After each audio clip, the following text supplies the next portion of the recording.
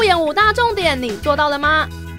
根据卫福部调查报告发现，台湾十八岁的人口有约八十五趴近视族群，是全球平均的三倍。但根据飞利浦调查八千多名受访者，七十四趴的人认为好的照明会影响视力，只有三十二趴的人在购买灯泡时会留意并选择正确的产品。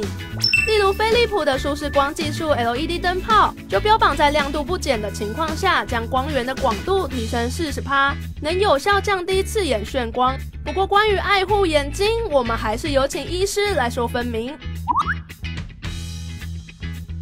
第一点就是要均衡的营养，因为我们都知道说很多这个眼睛需要的元素是来自于蔬菜水果，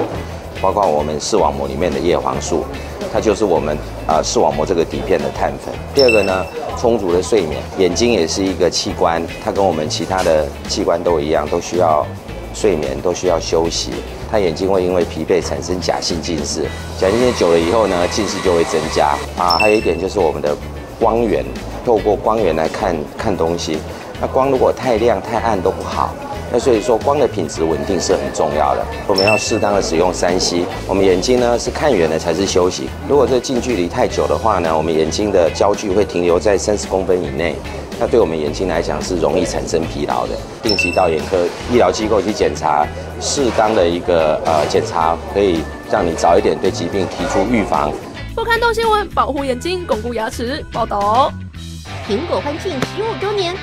送你百元 C 的礼券，再抽十万现金大奖，还有二零一八世足冠军赛门票。现在就下载台湾苹果日报 App。